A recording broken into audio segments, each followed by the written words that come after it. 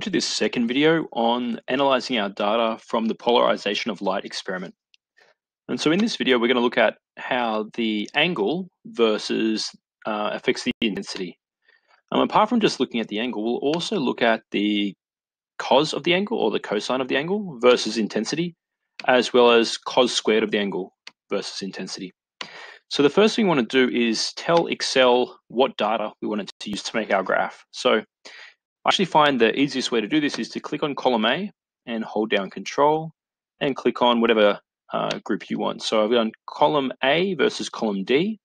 So that's angle versus intensity. Obviously, I'm just focusing on group one. I'm going to go insert. Now, my favorite type of chart here is an XY scatter plot. And I'm just going to do an XY scatter plot with straight lines. And there we go. I'm just going to click on that there to sort of increase the contrast, change that color. Now, group one isn't the best title for our graph here. So I'm just going to double click on that and just change the chart title. We're going to go angle versus intensity. Um, and also with Excel, uh, it doesn't natively show you the axes titles, so you can add chart elements. There's two different ways to do that. You can either click on this plus here, so to add a chart element, or in the top left, underneath the design tab, you've got add chart element up there. So I'm just going to go up there. And so we want axis titles and we want the horizontal as well as the vertical. So down the bottom here, with our axis title for the horizontal, we want angle. That makes sense. And we could even write angle of analyzer. And then our vertical axis is going to be, it's not angle, sorry, it is intensity. And the intensity is measured in the units of lux. Um, if you notice our chart, it's not bad. We could probably make it a little bit better once again, and by adding a few different chart elements. So we can add some data labels there. They're quite nice to sort of see that.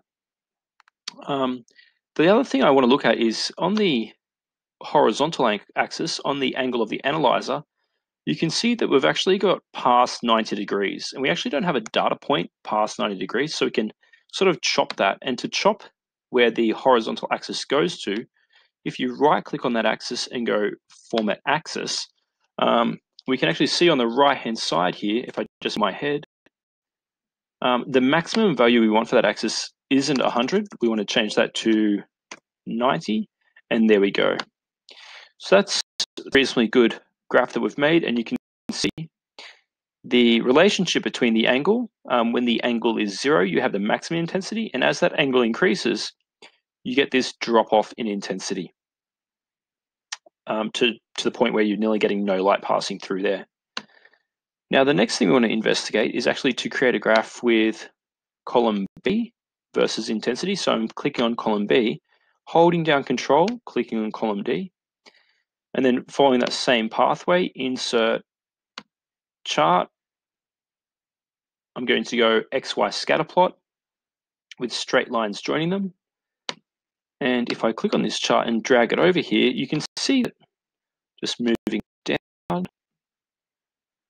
that with this chart, um, it's got an interesting shape. I'm just going to change the colors, make it a bit interesting. So the shape is, you know, it's looking like an exponential. It's it's sort of rising up there. And so that gives us an indication that this isn't just a linear relationship between the cosine of the angle or the cos of the angle and the intensity. Um, so once again, we want to label this chart and we should always label it with the x-axis first, x versus y. So this would be cos of angle versus intensity. Um, we can format this bottom axis once again because we don't have cos greater than one. So we can go format axis. Maximum value is going to be one, perfect. And then we can have a look at this vertical axis here, and we obviously want to add some chart elements. The chart elements we add are obviously our axes titles once again.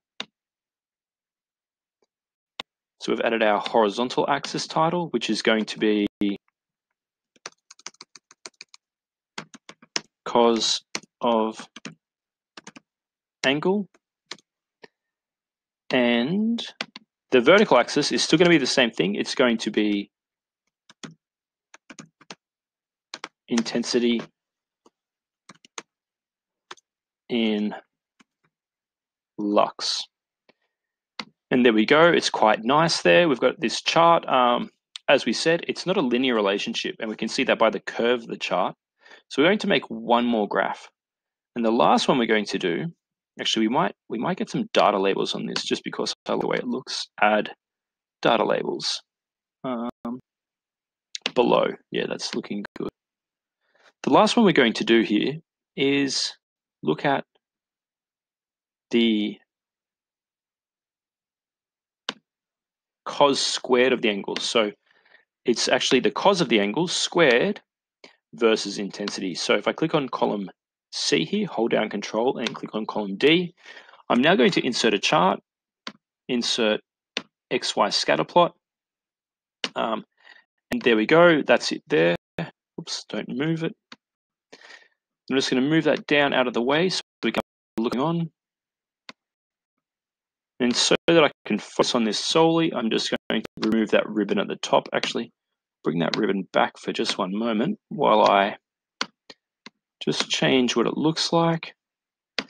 And so you can see we have this sort of nice linear relationship. You can see that as the cosine of the angle squared is plotted on the horizontal axis, um, we get this straight line versus intensity. And that's really important. So we're now going to sort of fix up our graph once again.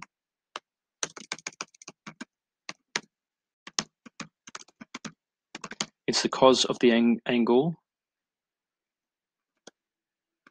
squared versus intensity. And so a graph isn't complete unless it's got some axes titles, and we can put some data labels on again. So our axis title on the bottom here is cos of the angle squared. And the vertical axis was intensity once again. Now this is sort of not finished. This looks really good, but it's not finished.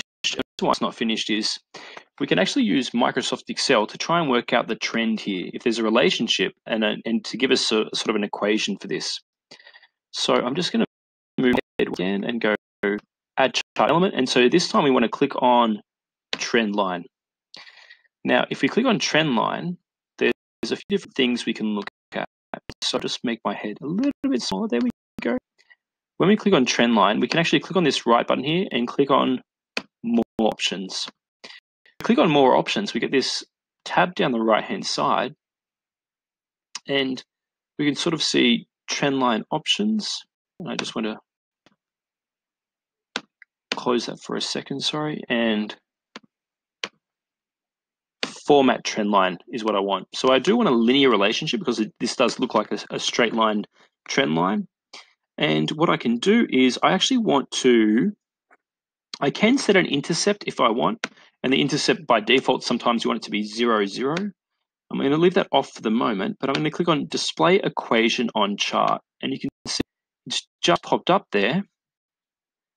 And so what you can see is if you have the cos of the angle squared on the x-axis, um, and you multiply it by 422.51 and then minus 7.114, we should get what our actual value is. And what I mean by that is it should give us our intensity um, thereabouts. So, for example, you can see that we have the cos squared of the angle, um, sorry, cos squared of an angle will, might give us 0.6. To actually use your calculator to go backwards, what we can do is we in our calculator, we can go 0.6 and then the square root of that is going to be 0.77. And then if we go inverse cos of 0.77, we have this angle here of 39.64 degrees. Now, what we can do is we can say, all right, well, if we've got 39.64 degrees, what intensity will that give us? So in our calculator, we're going to go cos of 39.64 degrees. So cos of 39.64 equals, once again, we just tested that, that's 0.77. If we square that, we get 0.59, which is close to the 0.6 that we're trying to investigate. And now comes the magic part. So if I get that number and I use this equation that's in the format of y equals mx plus b, although in this sense it's y equals mx minus b, I can then predict the actual intensity of that angle. So I'm going to go 422.51 times that value.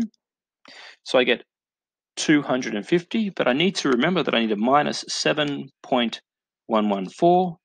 And so I get this value here, 243. So what I've just worked out is for this point in the graph here, my intensity should be around 243. And if you look at the graph, that actually works out to be approximately right. So you, around, uh, if the cos of an angle squared is 0.6, then it should give us around 243 lux. So hopefully that's shown you how to make your graphs of not just the angle versus intensity, then cos squared of the angle versus, sorry, cos of the angle versus intensity, and then finally cos of the angle squared versus intensity. And then we get our trend line there. Um, and so that's that's pretty powerful. As I said, it lets us predict any value along this line. Um, we can't extrapolate it past this because as you rotate that polarizer, as we said, that's going to now drop back down. But um, we can use this to sort of estimate with quite high accuracy what the intensity will be at any of these particular angles. So thanks for watching this video and good luck making your graphs.